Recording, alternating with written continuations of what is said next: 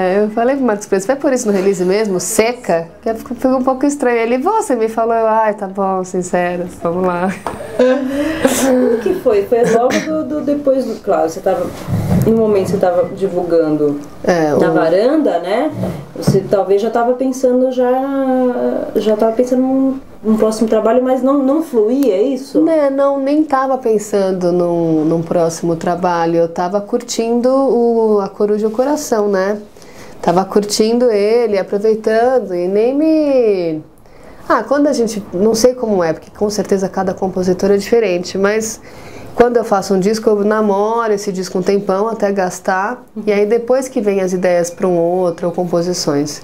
E no meu caso, eu gastei o segundo e não me veio nada, entendeu? Por isso que eu falei, tô seca. Mas também, depois de dois discos falando de amor e contando as minhas próprias histórias, eu tava, gente, não me aguento mais, vou ter que mentir, ou eu vou ter que contar a história de outra pessoa, ou eu vou ter que, eu não sei o que falar. Então, foi um, foi um caos mesmo, foi uma, uma coisa na minha vida que realmente eu conversei com algumas pessoas, inclusive, é, sobre isso mesmo. Eu lembro quando eu, um dia encontrei o Ale Youssef, que me ajudou muito no primeiro disco. Eu falei, Ale, não sei mais, o que, que eu vou falar de amor de novo? Tipo, putz, que saco, já nem. Que saco, vou ficar falando de amor, entendeu? Eu não tô.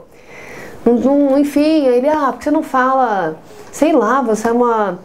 Você é uma observadora tão boa, por que, que você não fala sobre o cotidiano das pessoas então, andando na cidade? Você não sai para andar. Eu, ah, enfim, é uma boa ideia, vou anotar aqui, mas não, não está vindo nada mesmo. Então eu tava perdida, assim. E aí, uma das pessoas que eu falei, é, essa mesma história de não sei que, tô confusa, não me veio nada, não sei o que lá, foi o David Byrne, entendeu?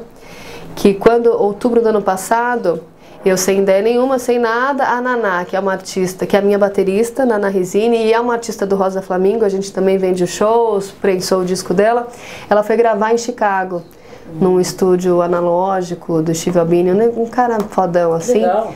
E aí eu falei, quer saber, vou junto. Pra vivenciar isso, quem sabe me inspira também. Aí de Chicago eu fui pra Nova York e aí que eu almocei com o Bunny. E aí foi isso, eu me abri totalmente, conversei com ele, falei rápido com meu inglês todo errado, porque se tem uma coisa que eu sou, ninguém pode negar, eu sou cara de pau mesmo, é uma característica minha que, que foi o que eu aprendi quando eu tive um probleminha de saúde antes do Sweet Jardim, que era ou, ou eu vou ser cara de pau e fazer do jeito que eu sei, ou eu não vou fazer e vou morrer deprimida, que foi aí que eu fiz o Sweet Jardim, porque não tem nada mais cara de pau do que o Sweet Jardim, né? músicas com três acordes, é, falando de um, enfim, então não dá pra ser mais cara de pau assim. Mas foi isso, eu cheguei pra ele e falei, olha, eu tô preciso entregar um disco pra gravadora, eles estão realmente me cobrando. Eu não sei o que fazer, será que eu faço um disco de interpretações? Não canto também, também vou cantar o quê? Será que enfim, não tenho nada, então eu não sei, tem algum filme pra eu ver, alguma coisa pra eu ouvir, me, me inspira, me ajuda, porque você veio aqui almoçar comigo, então me fala alguma coisa quando eu vou sair daqui sem nada. E aí ele foi super simpático, me contou as coisas. Eu falei, como é que você faz? Você já passou por isso? Como é que, como é, que é? Porque eu nunca passei por isso. Eu tenho, também eu tenho dois discos, né? Não tenho uma longa vida de compositora, é muito curta a minha vida de compositora. E se realmente eu secar, porque esse é o medo que eu sempre tive. De um dia secar. E se já, já secou, porque eu sempre achei que ia ser mais pra frente, não já. E se realmente, o que eu posso fazer? Enfim, a conversa foi por aí.